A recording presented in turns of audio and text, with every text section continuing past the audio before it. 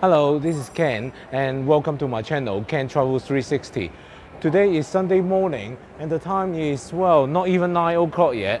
Why are we uh, here so early on a Sunday morning? It's because we are going on a cruise. So we are going to take the train to uh, Southampton.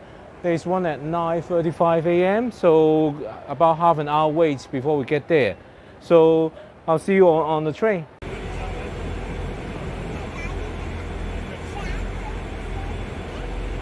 So I've got on the train now, and uh, the train has left uh, Waterloo, and we're now heading to uh, Southampton.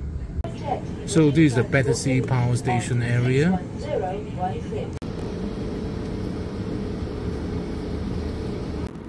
Okay, the train is just a, a stop away from Southampton Central now. Right, we just arrived at Southampton Let's go to the uh, cruise terminal now. There are loads of people waiting for the taxi, so we don't have too much uh, luggage. So we're going to try to walk uh, to the cruise terminal. From uh, Southampton Central Station, uh, in front of the bus station, you cross the road.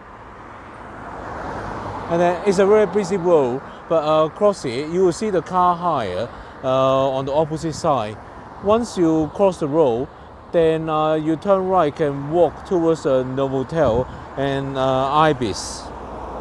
So when you walk past the Mountbatten uh, Retail Park, um, you will see a path here.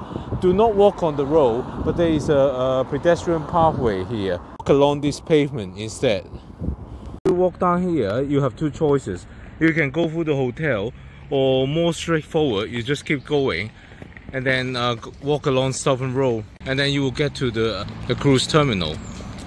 So we're just outside uh, the entrance of Novotel now and here you can already see uh, the Royal Caribbean ship here. If you don't go into the hotel compound, you can just walk along and then uh, you get to this main road anyway and you just keep walking and you can see the Southampton ports just in front. Okay, if you are still unsure, if you look on Google Map, gate 10, you will find it and you can plot your own route here. Of course, if you have lots of luggage, take the taxi, it shouldn't cost too much. Right, as you turn left after, after entering the uh, port gate, you will see the ship. Here's our uh, ship for this cruise, uh, the Anthem of the Sea from Royal Caribbean. Today, there are a lot of other uh, ships around. There is a Norwegian Star as well. Royal Caribbean cruise ship, they almost always dock at uh, berth 101. So that's the City Cruise Terminal. When you arrive here, you just keep going until you arrive at the City Cruise Terminal. About uh, 10 minutes walk tops.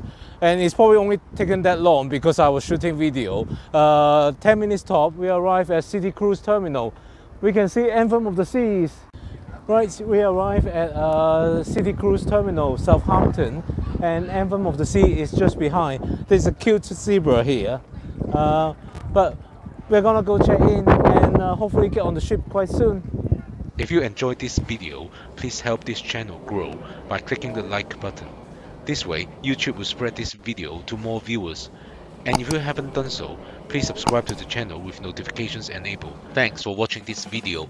I hope it helps you to find your walking path to the City Cruise Terminal from Southampton Central Station. If you're interested in seeing how the rest of the embarkation day panned out, click here to watch the embarkation video. See you over there.